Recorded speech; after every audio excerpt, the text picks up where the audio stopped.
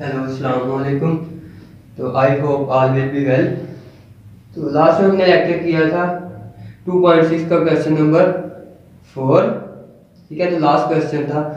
आज हम करेंगे एक्सरसाइज 2.7 और उसके कुछ रिलेटेड जो टॉपिक्स आएँगे, इसको रीड करेंगे। तो यहाँ पे है जी क्वेश्चन हमारे पास। फ़र्स्ट उसने टेबल दिया हुआ है हमें। ठीक है, और वहाँ का है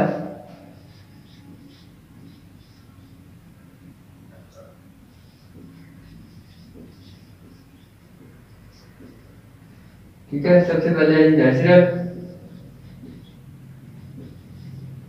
उसके बाद है जी हमारे पास होल नंबर। उसके बाद हमारे पास है इंटीजर ठीक है, उसके बाद हमें दिए हैं जी। ये हमारे पास प्रॉपर्टीज़ है इस तरफ़ को। हमारे पास प्रॉपर्टीज़ है। प्रॉपर्टी सबसे पहले है जी। क्लोजर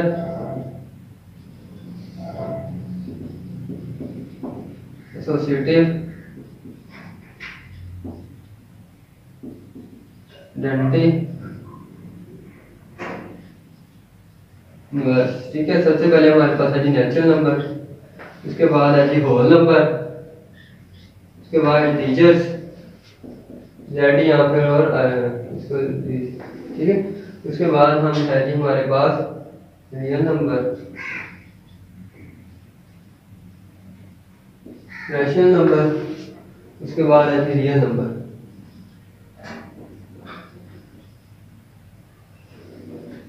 ठीक है तो सबसे पहले हमारे पास है नेचुरल नंबर पे हम प्रॉपर्टीज़ अप्लाई करेंगे।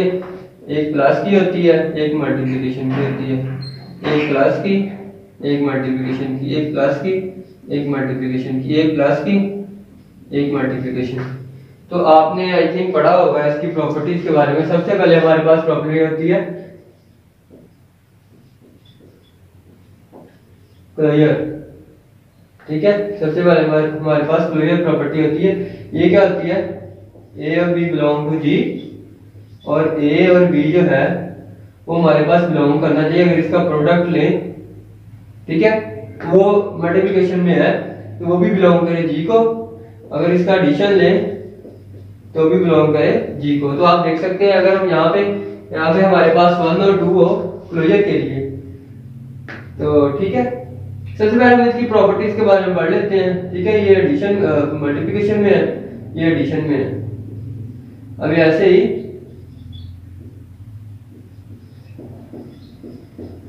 एसोसिएटिव प्रॉपर्टी है दूसरी। तो इसमें क्या होता है हमारे पास तीन एलिमेंट्स होते हैं। वो बिलोंग करते हैं जी को। तो अगर हमारे पास एडिशन की बात करें A plus B plus C वो इक्वल आ जाए, हमारे पास A plus B plus C के तो वो हमारे पास क्या होता है? एसोसिएटिव प्रॉपर्टी ऑफ़ एडिशन होती है। उसके बाद हम मल्टीप्लिकेशन की बात करेंगे। तो यहाँ पे क्या होगा? ए बी इंटू सी और ए बी इंटू सी ठीक है? उसके बाद हम बात करेंगे इसकी नेक्स्ट प्रॉपर्टी के बारे में। वो है जी हमारे पास। आइडेंटिटी ठीक है? आइडेंटिटी है। तो ये क्या होती है? इसमें हमारे पास जो एडिशन होती है, वो ज़ीरो होती है। यानी किसी भी एलिमेंट में अगर उसको प्लस करेंगे ए और ज़ीरो हमारा बिलोंग करेगा। दोनों एलिमेंट जी में बिलोंग करने चाहिए। तब हम इसको प्लस करेंगे एडिशन में तो ये हमारे पास दोबारा ए ही आ जाएगा। और मल्टीप्लिकेशन की बात करें तो हमारे पास जो ऐसा, ठीक है एलिमेंट होगा जो हम मल्टीप्लाई करें, तब हमारे पास हो जाना चाहिए। तो वन भी बिलोंग करना चाहिए हमारे पास। ठीक है, ये मल्टीप्लिकेशन की वन प्रॉपर्टी है। मैंने इसके यहाँ पे लगाया है वरना आप डिफरेंट भी अलग अलग लिख सकते हो कि ए वन और ए बिलोंग कर रहा है, जी को तो यहाँ हमारे पास मल्टीप्लिकेशन की आइडेंटिटी क्या हो जाएगी? वन हो जाएगी। तो आप मल्टीप्लाई करके देखोगे तो दोबारा ए ही आएगा, यानी हमारे पास सेम एलिमेंट आना चाहिए। तो इनवर्स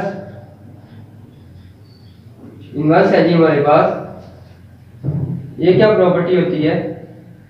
अगर हमारे पास ए बिलोंग कर रहा है जी को तो एक ऐसा एलिमेंट जो कि इक्वल टू डेंटी ले है डेंटी क्या होती है इसकी? वन ठीक है? तो ये भी बिलोंग करना चाहिए। जी, को। ठीक है? ये तो मल्टीप्लिकेशन में तो होती वन है। ये भी बिलोंग करना चाहिए और वन ओवर ये भी बिलोंग करना चाहिए। जी, को। उसके अलावा हम बात करेंगे यहाँ पे एडिशन में। ठीक है? तो क्या आएगा जी? माइनस है। ठीक है?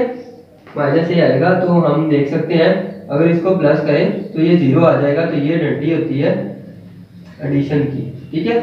तो ये भी बिलोंग करेगा जी को। तो ये हमारी प्रॉपर्टीज़ थी।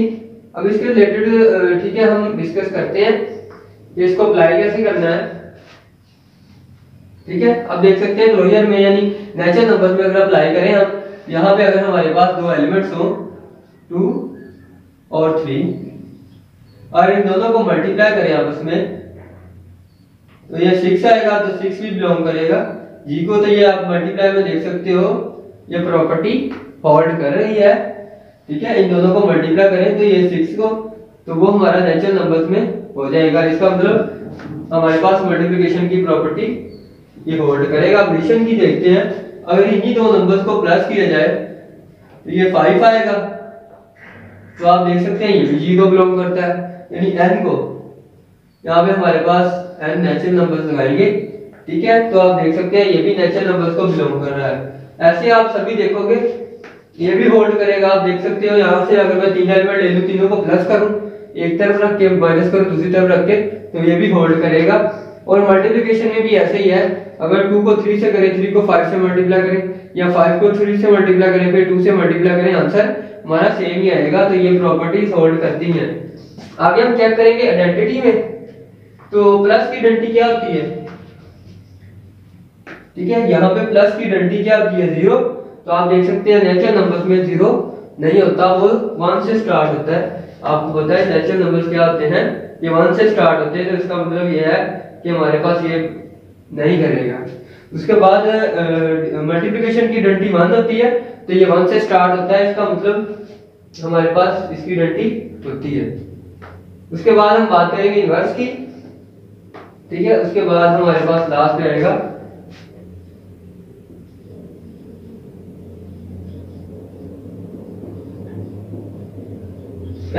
प्रॉपर्टी भी है हमारे पास। एडिशन की और ठीक है मल्टीप्लिकेशन अच्छा आप देख सकते हो, यहाँ पे हमारे पास जो है, वो क्या आएगा inverse?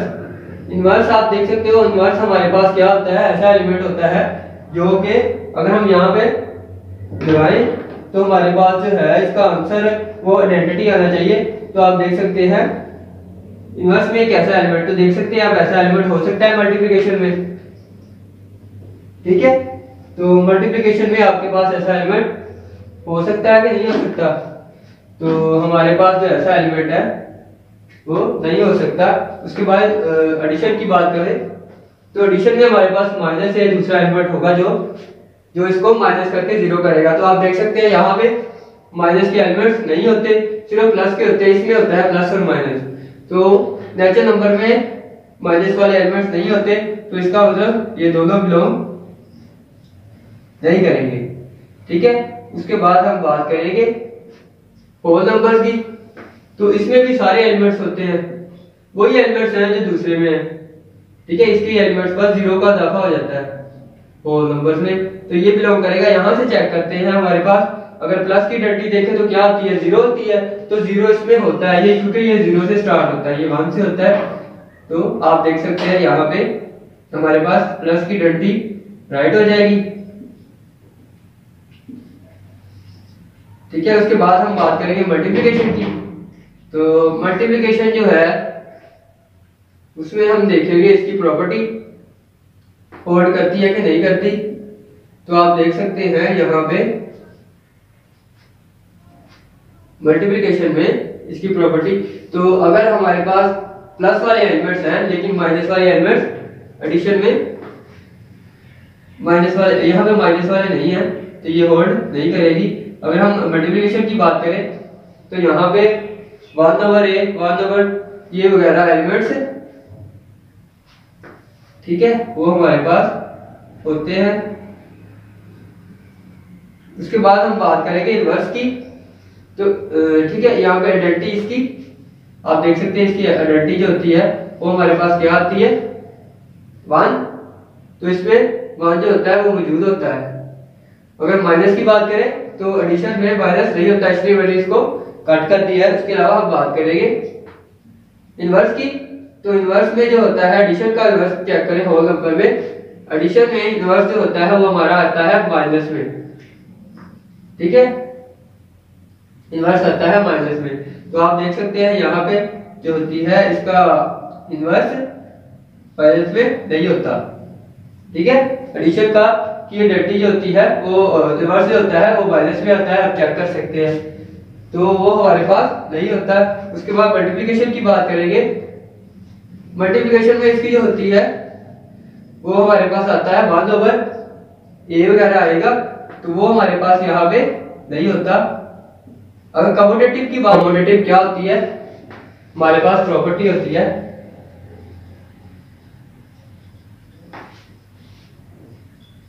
Commutative A into B plus C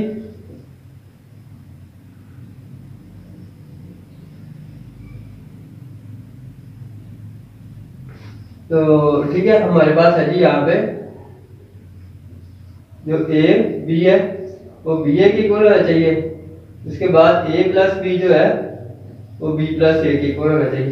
तो आप देख सकते हैं, अगर हम अप्लाई करें वन मल्टीप्लाई टू तो वो भी ठीक है, हमारे पास क्या आएगा? टू आएगा।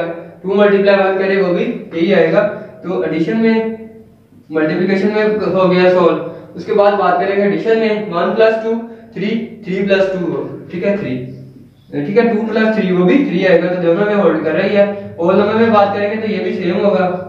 अगर बात करें हम टीचर्स में इंटीजर में ये भी वही नंबर है। ठीक है, उसके बाद आइडेंटिटी में बात करें। तो आइडेंटिटी यहाँ पे आप चेक कर सकते हैं। ठीक है होल नंबर्स में जो होता है आइडेंटिटी वो हमारे पास क्या आती है? वन ठीक है, इसमें दोनों बिलोंग करेंगी, क्योंकि इसमें ज़ीरो भी होता है और वन भी होता है आइडेंटिटी दोनों में ज़ीरो भी होगा वन भी होगा। तो इसकी बात करें टीचर्स की तो इसमें भी ज़ीरो भी होता है और वन भी होता है। उसके बाद बात करेंगे हम इनवर्स की। तो हम बात करेंगे इनवर्स की। इनवर्स में अगर हम बात करें तो यहाँ पे इसमें इनवर्स माइनस वाले भी पाए जाते हैं। इसका मतलब एडिशन भी होल्ड करता है। उसके बाद मल्टीप्लाई की बात करें तो हमारे पास वन ओवर ए बिलोंग नहीं करेगा। ठीक है? तो जो इंटीजर्स होते हैं इसमें प्लस वाले भी होते हैं और माइनस वाले भी होते हैं। तो ये बिलोंग नहीं करेगा। उसके बाद बात करते हैं कमोटेटिव प्रॉपर्टी की। ये होल्ड करेगी। उसके बाद रेशन नंबर्स की बात करें तो रेशन नंबर्स हमारे पास जो है वो ये दोनों, ये सेम एलिमेंट्स ही होंगे। ये होल्ड कर जाएगी। आइडेंटिटी की बात करें, इसमें प्लस वाला भी होता है माइनस वन भी। ठीक है, सभी होते हैं। उसके बाद अगर हम इसकी बात करें इनवर्स की तो इनवर्स में एडिशन का जो इनवर्स होता है, वो पाया जाता है। ठीक है, उसके बाद कमोडेटिव भी यहाँ पे होल्ड करता है। तो ऐसे रियल नंबर्स की बात करें, ये भी होल्ड करते हैं।